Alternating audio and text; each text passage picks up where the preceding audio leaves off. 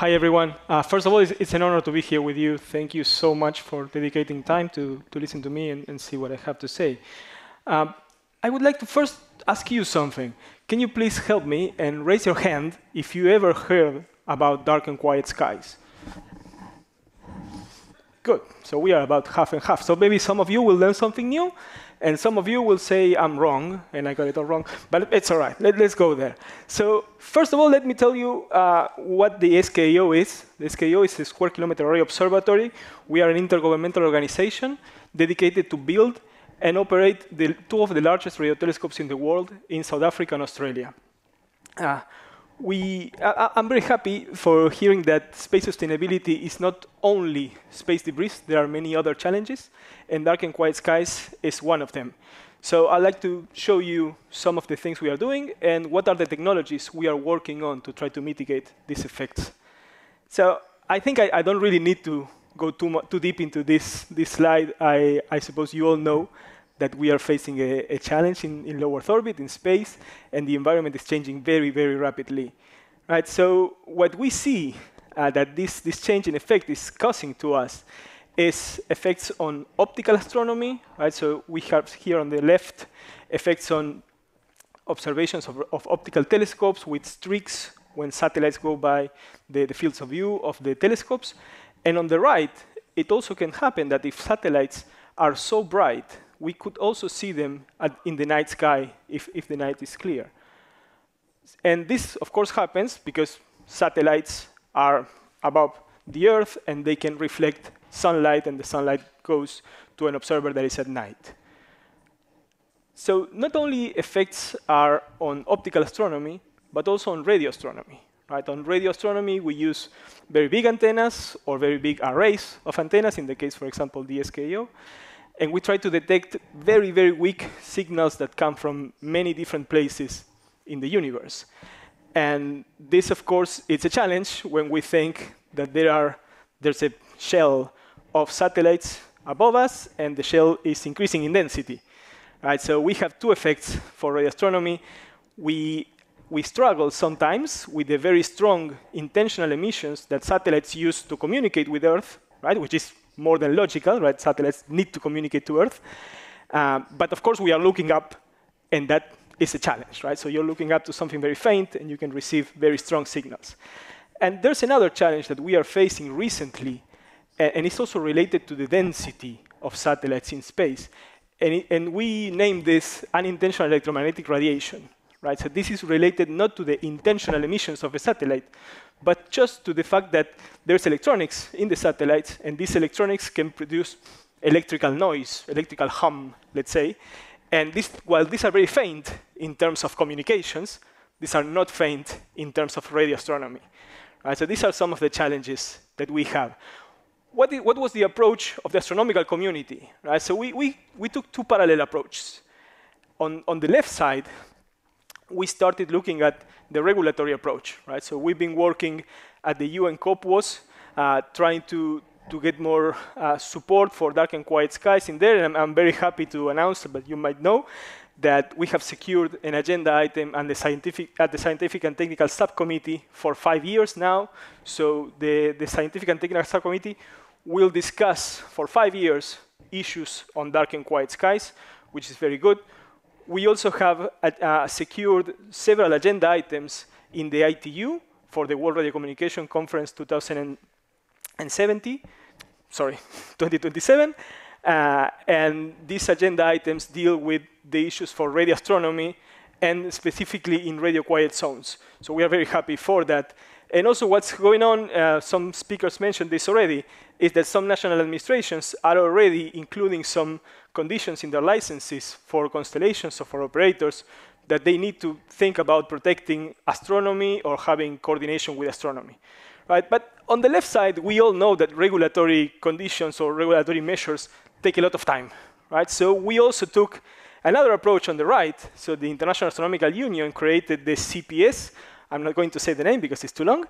Uh, but the CPS is basically a virtual center where the astronomical community is trying to get together all the different stakeholders to discuss the effects on dark and quiet skies, and including especially industry, so that we can all discuss and find the most balanced solutions, right? There's, there's not a good solution in here. There's not a solution that will fix the issue for one of the actors or, or for everyone. It, it will not happen, right? So we need to find a balanced solution that can impact the least everyone, hopefully. So let me take you quickly through some of the technologies we are working on. I'm going to mention them briefly. Uh, please reach out if you're interested in, in knowing more about some of these things. So what telescopes have been working on. We are, we are looking into the planning of our observations, right? We need to track stars, so we are thinking on how we can optimize that to minimize the effects of satellites moving in our field of view. We are also working, for example, on smaller telescopes, having shutters, so when, when satellites are going by, we can close the shutter and then open it again, avoiding to enter the interference we also are thinking of having small wide field telescopes alongside the bigger telescopes because sometimes we're not only looking at images, we're also doing spectroscopy and you need to know where satellites are. So that's another thing we are working on. And also for radio telescopes, we are working on more resilient receivers, right? Trying to be more str stronger against interference so we don't saturate the receiver and so on. And we are, of course, always working on newer uh, software processing techniques on the satellite side, we are also working a lot. We are collaborating with industry. Uh, so far, it's, it's been very, go, going very well. Of course, this, this is not solved, but, but we see that there are some things that are, are working, right? So people are working in materials engineering, for example, working on new coatings, trying to see if it's possible to make the satellite less reflective, or if it's possible to divert the light away from Earth. Some things are working. Uh, also operators are working on attitude control. So when the satellite is at, at night and it's reflecting light, they try to tilt it away so that the light doesn't come to Earth. Uh, and this, these two effects also uh, bring a new element that we need, and maybe it's interesting for industry, that we need new reflectivity testing labs. Right? There are not so many of these that can test an entire satellite and, and talk about its reflectivity in different directions. So that's something that we need to develop as, as industry, as these stakeholders are interested in this. Uh, on the radio side, we are very interested in, in constellations having capabilities like steerable beams so that the spot beams can look away from radio telescopes. There's a, a, reason for that. First of all, there will be no customers near a radio telescope because we need to be radio quiet. Uh, so there's, there's basically no reason why someone would like to waste their power in a radio quiet zone, for example. So it makes sense to say I can use my power in the satellite in a better way. Uh, also, it's important to minimize side lobe emissions and to control the unintended electromagnetic radiation. This is a, a much more challenging effect, and it's early stages of this research. We, have been working with some operators in, in discussing how we can have more information about an unintended electromagnetic radiation and how we can, at, from our side, understand it better and also make observations.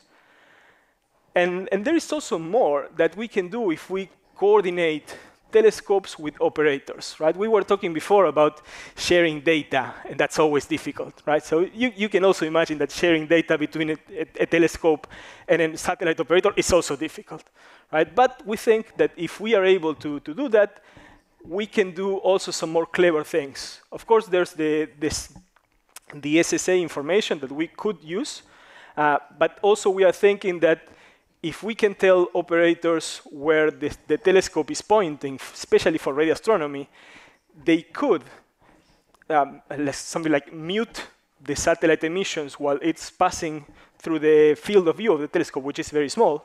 So they could mute for a second their emissions, and in that way, that would mitigate the effect on radio astronomy a lot. So just to finish, I would like to, to leave you with this takeaway that astronomy will have to invest more resources, right? This is a reality. This, this effect is not going to disappear. Uh, we are seeing more, more and more activity in low Earth orbit, and that's normal, so we'll have to invest more resources. Uh, the operators and the regulators are recognizing this so far. Hopefully, we continue in this way. I think we, we are seeing this, also some mentions on dark and quiet skies, which is very nice.